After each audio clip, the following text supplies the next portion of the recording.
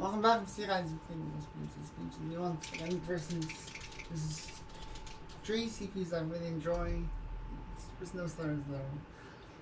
But Princess Peach does not deserve to win at all though.